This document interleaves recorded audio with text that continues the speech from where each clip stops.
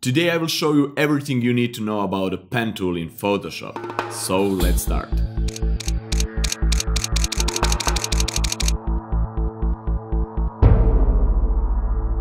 Hi guys, my name is Nemanja Sekulic and welcome to another fun episode. A lot of you guys asked me to create a tutorial about the pen tool, so here it is. Pen tool, it's really powerful tool in Photoshop and you can create really interesting things with that. For example, you can create a path that can be open or closed. You can put a text along that path to follow that path or you can put a pattern to follow that path. You can even create a selection out of the path and turn that selection into layer mask and so on. So let's jump straight into Photoshop and let's have fun. Alright guys, first thing what we need to do is to select the pen tool. You can press P on a keyboard it's shortcut or you can just go here and select the pen tool in the tool palette. Alright, first thing what you can do with the pen tool is to create a straight path. To do that just press and click to create first anchor point and then press again and click to create another anchor point and you will see a straight line between those two points.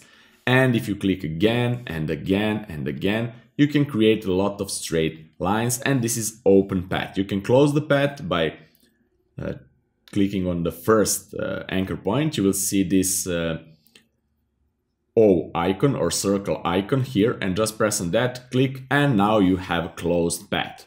Okay, another interesting thing is that you can create really straight lines like 0 degrees, 90 degrees or 45 degrees. To do that, you just need to use the shift key on the keyboard. For example, you want to put the straight line here in 0 degrees, no angle like this one. Just press and hold shift and click somewhere approximately and it will be a straight line. If you want 90 degrees up or down, just press and click somewhere approximately uh, 90 degrees down below and it will make a straight line. If you want 45 degrees, it's same procedure, something like so, and so on. You can create really interesting results with that. And again, close the path. This is just by holding shift. All right, let's go a few steps below, behind. And now let me show you how to create a curved path. This is this was straight line path. Now we will create a curved path. For that, again, just create a first anchor point and now press and hold mouse or stylus if you have tablet and just drag. And when you drag, you can see now is the curve. And now you can position the curve as as you like, for example, something like so, and you can see these two handles. Let me make another curve here, just press and click, and again you can reposition or change the shape actually of that curve, and that's it. Alright, now if you want to change the shape of the first and the second curve, you can do that with the control or command key. Just press and hold control key or command key on the Mac and click on the second anchor point. And now if you with the control or command key pressed, move these handles, you will change look of the, that curve. But what if you want only to change this curve or only this part of the curve? With this you will change whole curve and with this you will change the second part but it's not so good. If you make another one you will change completely that part. If you want to change only one part of the curve then you need to press and hold Alt or Option key. And now I will show you, press Alt or Option key, you will have new icon when you're putting your mouse on the handle and just move that.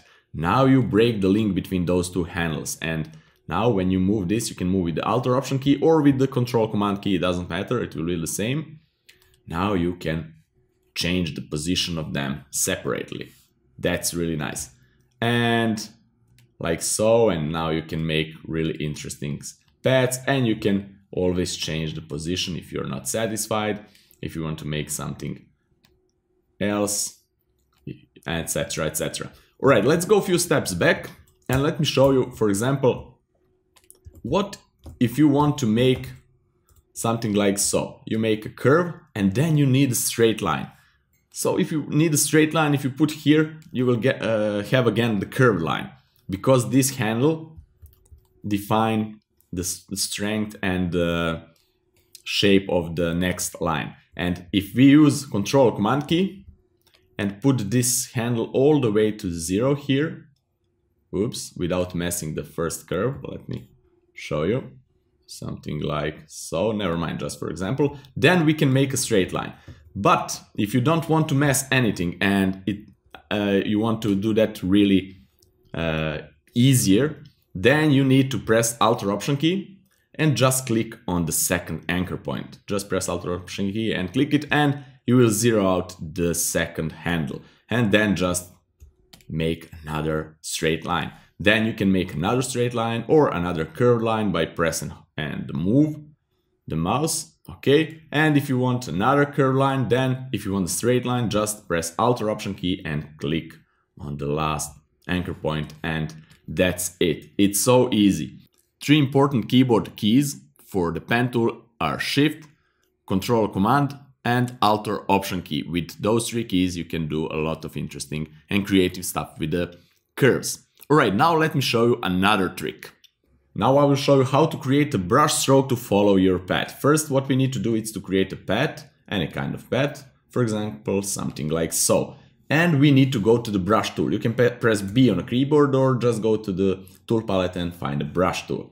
Now we need to set everything about the brush. Size, hardness, color, opacity and so on. Alright, first I will change the color from black to red, just for fun. I will create a new layer. And opacity it's 100% and hardness it's I will use 100% for this example. And now I will show how to create brush stroke to follow perfectly this shape, this path actually. All right, to do that, when you're done with uh, brush, if you are satisfied with that, you can change the size. For example, if you want to brush stroke to be something like so, you can make it smaller or bigger, and then go back to pen tool by pressing P on keyboard. Then right click it and go to the option stroke path. And you have here a lot of tools. You have pencil, brush, eraser, and so on. Every tool here, it's working in the same principle like uh, I will show you now with the brush tool. And you have this option simulate pressure. We will go back to that later. Okay, when you select, uh, if you selected the brush, just press OK and that's it. You now have perfectly shaped brush stroke that follow this path. You can of course delete the path if you don't want it anymore by right clicking and go delete path and now you have really nice shape created with the brush. Okay, let's go a few steps back and for example you want to use that simulate pressure options. Let's go to the pen tool, stroke path and if you press simulate pressure nothing happens. Why? Because you need to go to the brush tool properties and to set what kind of pressure simulation you want to achieve. Let's go one step back, go B on the keyboard to go back to the brush tool, and then press F5 on the keyboard to enter the brush properties here. Okay, first let's go to the shape dynamics here, and I want the size jitter, control of that to be pen pressure. That's nice. You will see if I press lighter, I will have smaller brush size. If I press harder, I will have larger brush size. Okay, and that will be something like so. I will have simulation of something like this shape. All right, let's go back to the pen tool, P on the keyboard, right click, stroke pad, and now simulate pressure is checked and let me show you what this can do, okay? If I delete pad, it's really nice simulated pen pressure curve. The start and the end are really, really thin. Okay, you can do another pen pressure simulation and that's maybe opacity jitter. Let's go a few steps back like so, go back to the brush by pressing B on the keyboard, F5 for properties and uncheck shape dynamics and go to the transfer. Opacity jitter, press, uh, put it on a pen pressure and as you can see here an example, first this part will be opaque and then 100% opacity and then again all the way to the zero. So let's do that. P on a keyboard to go to the pen tool, right click, stroke pad, and simulate pressure is checked, press OK.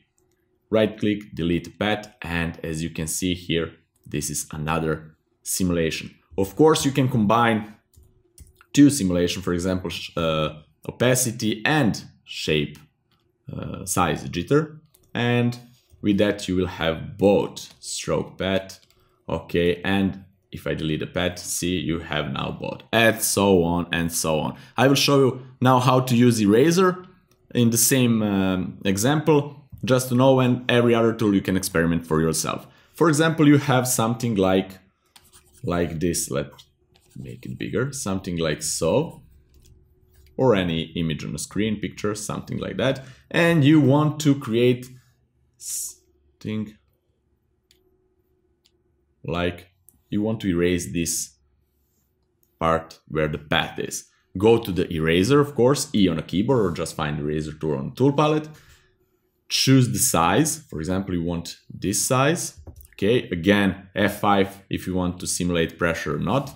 Something like so, it's nice. And again, you can choose, for example, he here we will use really soft eraser like so. And now you can go back to the pen tool by pressing P on a keyboard, right click, stroke pad and choose eraser. Uncheck simulate pressure and press OK. Right click, delete pad and that's it. We just deleted along the pad. Okay, this is the first example how you can use a pen tool in combination with the brush tool. And now I will show you how to use a pen tool in combination with the text tool. So let's do that. Alright guys, let's delete this layer and create a new one. Create some path, for example, again, just a simple path, something like so. And we can use the text tool, T on a keyboard or just go find here, text tool. And uh, put the text tool over the path and the icon will change. Okay, something like so and just click. And now you can type anything you want.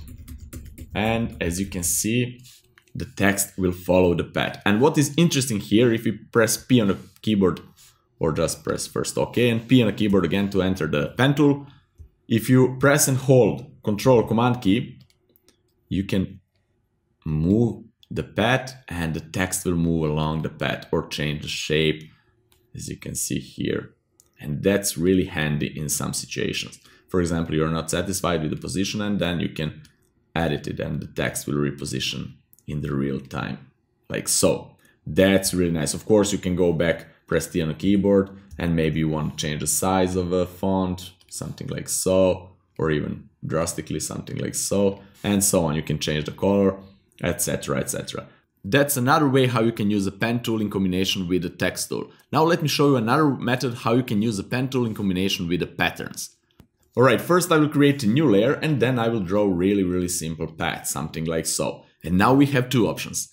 First one doesn't work for me for uh, some reason, I don't know why. If you know the solution for that, please let me know in the comment below. And the second one, it's working perfectly. But I will show you the first one in case you find yourself in the same position that I was. Alright, while you're still in a pen tool mode, right click and go to the fill path option. That's nice. And now you can change the content from foreground or background to pattern and then you need to choose your pattern here, anything you want. I will choose this butterfly. It's one of the patterns that I created in one of my previous tutorials about the patterns. You can find the link here. And I will check this script option and I will choose place along path. Everything else I will leave as it is. And now we have a new dialog box. And unfortunately, this is not a real life representation of the shape and uh, scale of the butterflies, but with a few trials and errors, you will find the right uh, settings for you guys. All right, 0.3, I will leave the scale as it is. Spacing is the spacing between the butterflies. I will leave maybe 5 so. This uh, angle, it's just the angle of the butterflies. I will leave 90 degrees, okay? And maybe, let me see, I can change the color of each butterfly, put some randomness in it, or or not. I'll put some amount just for fun. And now when I press OK, something strange happens, right? As you can see, there are only half of butterflies here, half of the pattern, and it's defined by this line here. Everything what is inside this line, from this end to this end, it's shown, and everything what is outside, it's not shown. I don't know why. Again, if you have solution for this, please let me know in the comment below. That will be great. Right, now let's go a few steps back, like so. And I will show you another method that's working really good. Let's go to the brush tool. Okay, B on the keyboard and you need to press shift and backspace to enter this fill dialog box. Or you can go to the edit and just press fill. You have another shortcut shift F5. Okay, and again, it's the same procedure. Go to the pattern, choose your pattern, choose the script and place a long path. Okay, and that's it. Now press OK, you will have the same dialog box with the settings, same settings.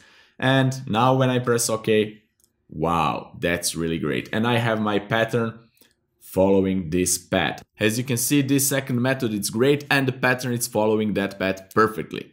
Alright, now I will show you another technique with the pen tool that it's most commonly used and that's how to create the selection out of the path or how to extract objects from the background using a pen tool. So let's do that. Alright, for this example we will extract this cup out of the background using a pen tool. But before we do that, let me show you how to create selection out of the path. Let's create any close, uh, closed path, something like so. And now I will show a few ways how you can create the selection out of that. The most common method that I'm using is just to press and hold Control Command key and enter on keyboard and that's it, you have selection out of the path. Alright, the second method that you have a little bit more control over it, it's to right click and you have here option make selection. Now you have a feather, feather radius option. If you leave it zero, you will have really harsh edge without feathering. If you press maybe 10, uh, type 10 pixels, then press OK, you will have feather around 10 pixels radius. And for example, if we delete the background, you will see this is feather by, by 10 pixels, okay? And if you, let me undo one more time, if you leave zero, and now I delete the background, as you can see, it's really harsh edge without feathering. Okay, now that you know how to create a selection out of the path, let's play with extracting this cup. First, I will put the first anchor point somewhere here, and then I need to create a path along this cup. Okay, you can always use Control or Command key to move these anchor points a little bit better or to reposition the handles. One great option here, if you want to use it, I don't use it, but it's really helpful for uh, beginners, is to go to the gear icon here and choose a rubber band option. And now you can see how your next uh, next path will uh, behave, something like this. And now I'll press and hold, click. Okay, that's nice. And you have this as a helper. And now, as you can see, I cannot make a straight line here, neither the this curve here, and that's why I need to cancel this handle.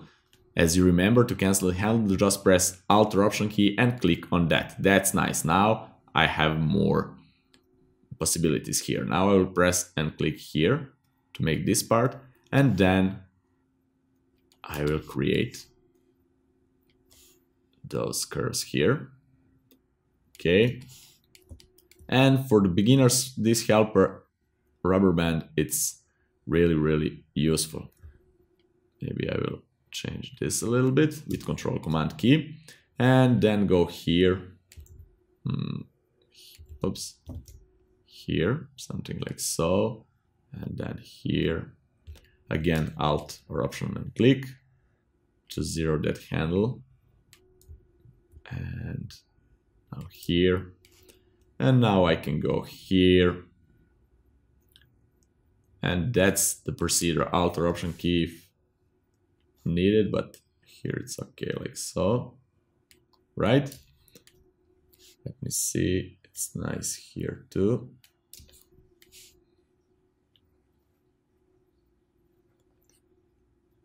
Okay, and let's, with the Control Command key, try to fix this a little bit. Alt or Option key because I just want this handle. I don't want to mess with this one. And now we need to press Alt or Option here and close the path. And that's it. All right. And now let's create a selection out of that. For me, I will use just control and enter or command and enter and create a layer mask like so. And then I will just go and select this inner part because I didn't do that. Okay, like so.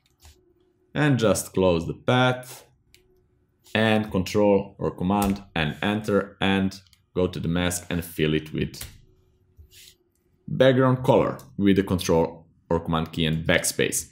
Okay, and now we have this cup selected out of the background and the edges are really, really great. We can change the background color if we want, maybe in some bluish or something like so. And that's it. You can create your design out of this cup of tea.